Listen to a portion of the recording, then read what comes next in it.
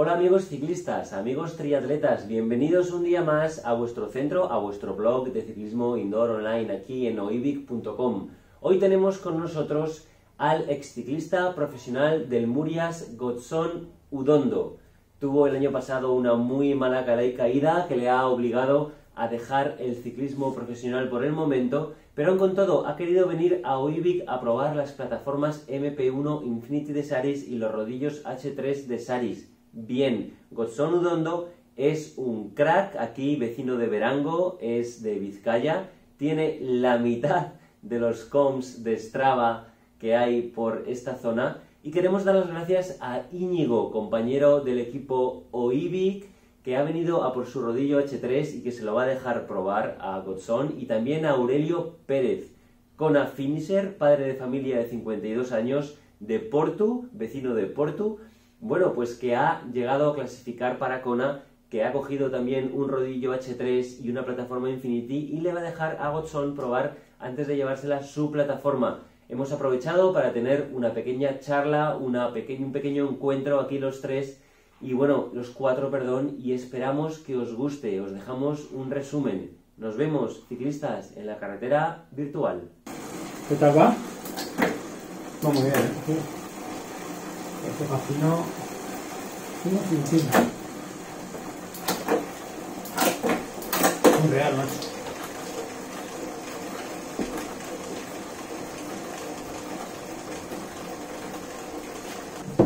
Es la, la primera vez que montas en un rodillo inteligente, ¿no, Boston? El año pasado en equipo teníamos Bicool, eran inteligentes. Pero equipo así el primero, sí. Entre tú y yo hay diferencia con el Bicool, ¿no?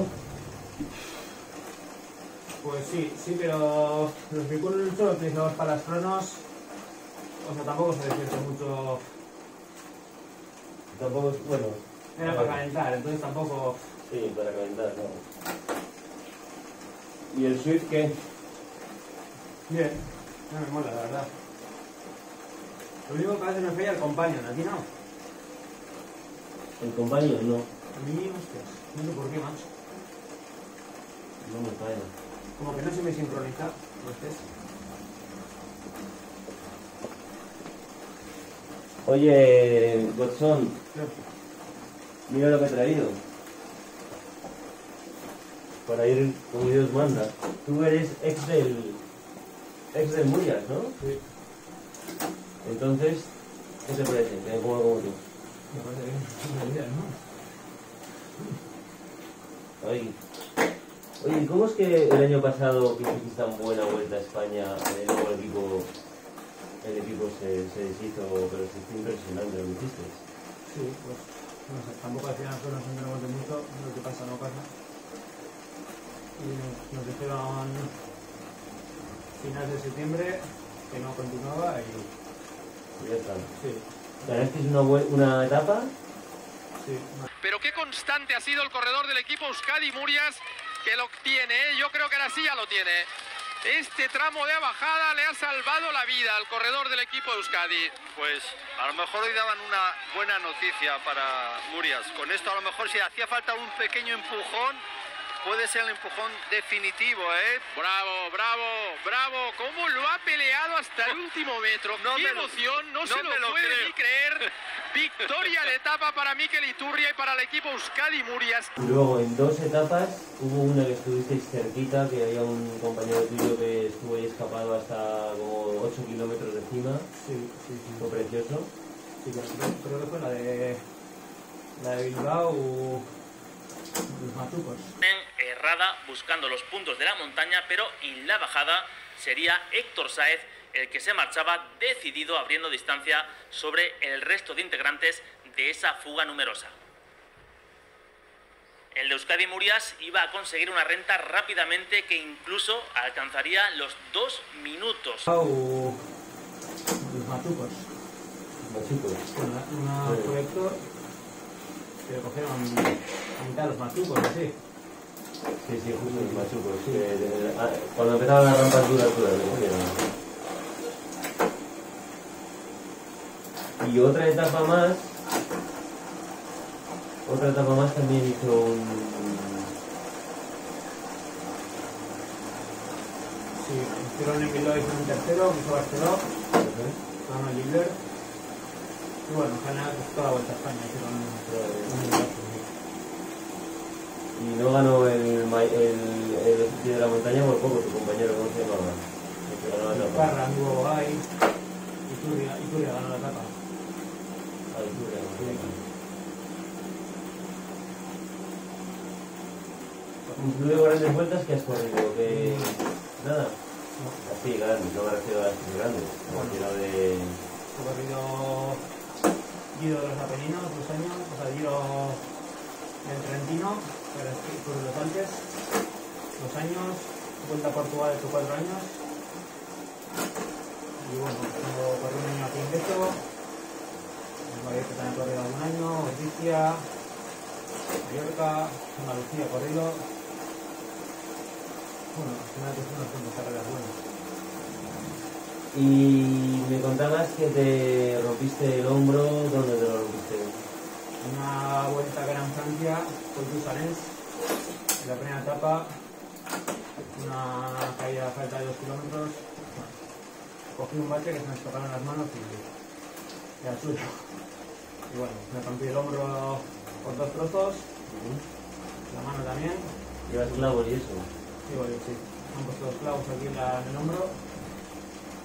Y bueno, pues sigo todavía. ¿Y crees que podrás volver al máximo nivel o...? o- Yo creo que, yo creo que no. ¿No? Sí. Sí. Ya es un tren que pasa una vez, ¿no? Sí, y luego también pues un poco pues, con el tema este que también, pues, bueno, pues, tampoco tenía nada, el equipo desapareció y, y hoy en día no tengo nada y lo veo muy negro.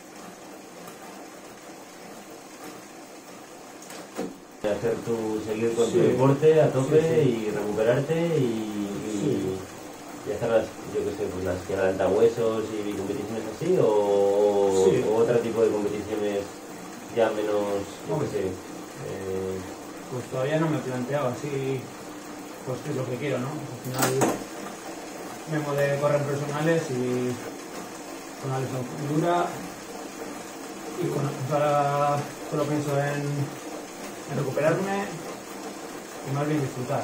Es un poco lo que vaya viniendo y, y bueno, pues un poco, pues sí que tenía la intención igual de hacer esas marchas, pero más a mi igualdad y tranquilo, disfrutando. Vale.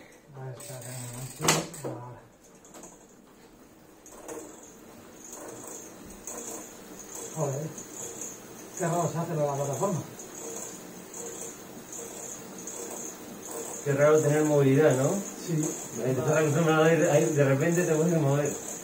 Bueno, estamos con Marcos Ramajo, el rodillo volador de Oivic. Ha venido por su rodillo Saris. Marcos Ramajo ha estado utilizando qué rodillo Un élite super crono malísimo. Y te medía en plan, eres, eras el, vamos, ibas de- detrás de, detrás de Insu el otro día a tope, ¿no? Y es más, por no adelantarle, Pues no, vale, sí. por no darle, por ir a un entrenamiento, ¿no? En plan a rueda y tal. Sí, sí, estoy en otra cosa. Bueno, este es, este es el rodillo que vas a emplear en la carrera del sábado, ¿no? Sí, eso es. Tengo curiosidad, eres, te veo fino de cara, con lo cual tampoco vas a ir mal, ¿no? Ah, sí, sí. El- no. El rodillo es una maravilla. No se oye nada, no hay ruido. De todas maneras, tu bicicleta hace menos ruido que la mía, ¿eh? Fíjate la diferencia de sonido con su bicicleta a con la mía. Lo que es una, una hornea, una hornea con dura hace a una medida de oferta con, con 105, ¿eh? la rueda fina, fina. Bueno, Aurelio, ven aquí. Vamos a, vamos a presentar a Aurelio también, eh, quédate, quédate un metrito, eh, normas de la casa. Eh, Ponte, ponte, ponte, ¿te parece? que tengo, como me la acabo de Ah, quitar, aquí, ah, sí, espera. Siéntate aquí un poquito.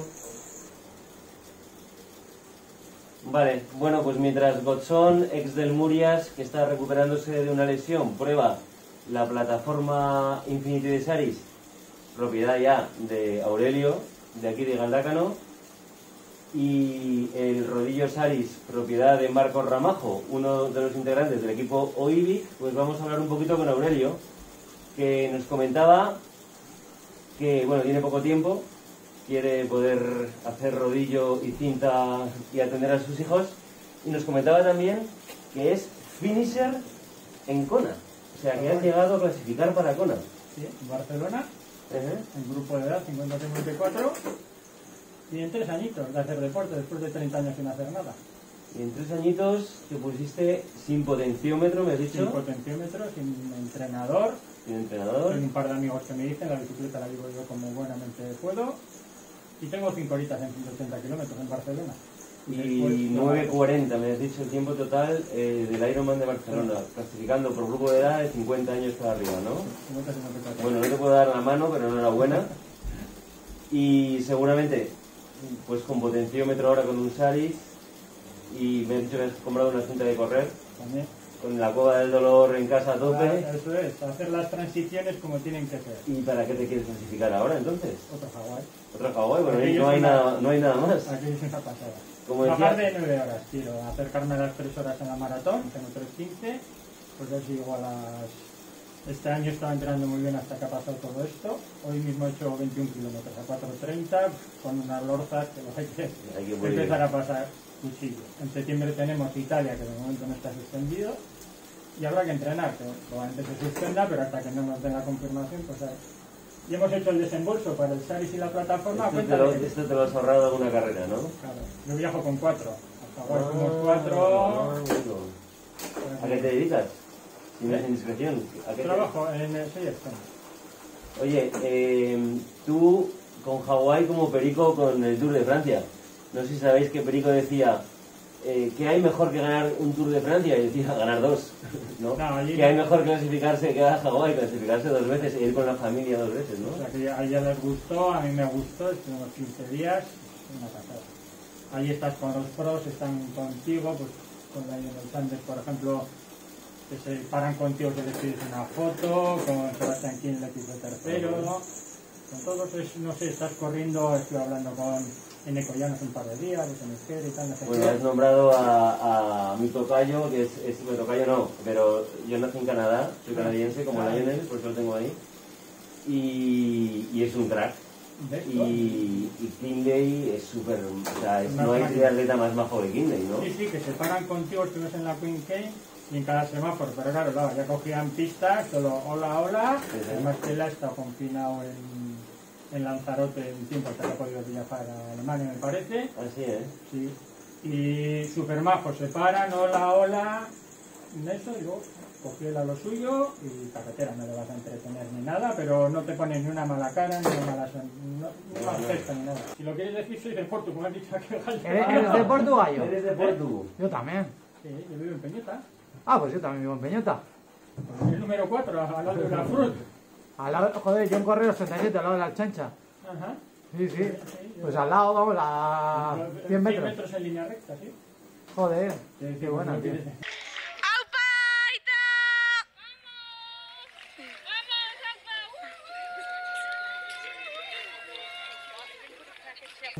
No, pero Pues- es, es- la cosa está, ¿no? Ahora eh, realmente con el coronavirus así estamos, ¿no? Pero la idea era un poco un sitio aquí donde la gente pudiese de cuando venir, hablar de ciclismo, conocerse y hacer una sesión quien no tiene rodillo con el que tiene y bueno, ahí tengo un, proyector para proyectar alguna cosilla. Oye, vamos a ver Kona.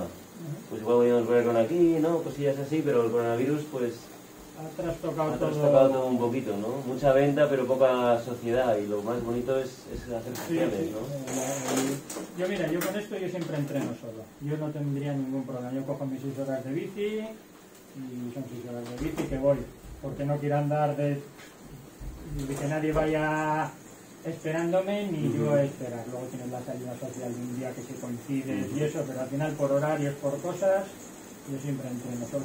Tendré que hacerme amigos a través de, la plataforma. ¿Y tú eres buen, nada- eres buen nadador? ¿Se entiende? No, yo no he aprendido a nadar nadar O sea, quiero ir. decir, yo he empezado con, ya te digo, con 49 años, de no- 30 años sin hacer nada, se me ocurrió empezar a correr por el, por el puente colgante. Sí. 300 metros corriendo 300 metros trotando, la velocidad era la misma. En 2016 hice Vitoria, el Ironman de Vitoria. Y ese tiempo hasta Hawái, 6 Ironman y 3 medios Ironman. Y Joder. ha habido un año que he hecho Lanzarote, Vitoria en 10.30 y Lisboa en 4.35 en medio y me clasifiqué para San Miguel. Un fiera. Bueno, y Gotzón, ¿tú cómo ves el tema del triatlón? Yo la verdad que estoy, estoy un poco perdido en el tema del triatlón. Sí. Un problema más, bueno, de la carretera que he hecho toda la vida y bueno, la. ¿Sabes qué pasa? Que mucha gente y exciclistas también se enganchan al triatlón porque es eh, a nivel amateur hay mucho nivel y además se puede competir y es muy sano, o sea, la gente es muy sanota, la verdad, la rivalidad es muy sana. Ahí te ayudan. De hecho, ¿sabes Sí. fue el, el- No, no se hizo segundo, lo dan ya a ver. Ah, sí. En el grupo de edad. verdad, en el segundo, grupo de edad sí. más joven, del 45-49, ganó Vinokurov. Eh, es una, una opción de futuro también Sí, para sí, competir, al ¿no? final, y es muy, es muy completa porque tienes un montón de deportes diferentes, bueno, tres o sea, el triatlón dos. Pero bueno, sí es algo que no lo descarto, ¿eh? Creo que, No sé. si no me equivoco, Markel Irizar también ha hecho este año. Es que, claro, tú que tienes una lesión así, eh, entrenar para el triatlón la bicicleta es mucho menos exigente a nivel de, a nivel de, de, pues todo este tema de, ¿no? de, de llegar a, a tener tanta tensión en un pelotón Sí, tantas Sí, horas. porque eso es, es solo. Lo que creo que es muy. El tema del entrenamiento, el final compaginar tres deportes, tiene que ser duro. Eso sí que me da la sensación. Y haces saltar Sí. tiempo, entrenar tiempo. Yo creo que el mismo que le dedicas a la bici, solo que lo repartes.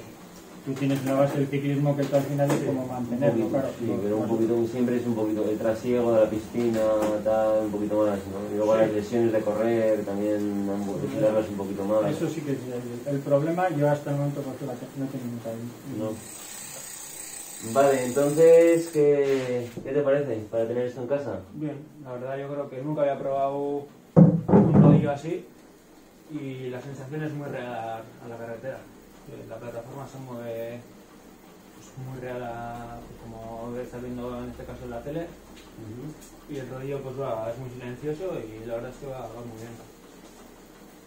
Bueno, pues oye, gracias, gracias por venir y joder, aquí tienes, tienes un sitio en Guecho, en tu casa para cuando necesites cualquier cosa de, del indoor y mientras aguantemos aquí con este local abierto, pues aquí estaremos. Vale, muchas gracias. Vale, Muchas para que nada. Y con ganas de estrenar yo también mi, chaqueta de Murias, que me la compré de oferta el año pasado. Empecé a montar el garito este y, me dediqué a todo menos a hacer ciclismo fuera, o sea que no la he ni estrenado. Tengo ganas, preciosa, ¿eh?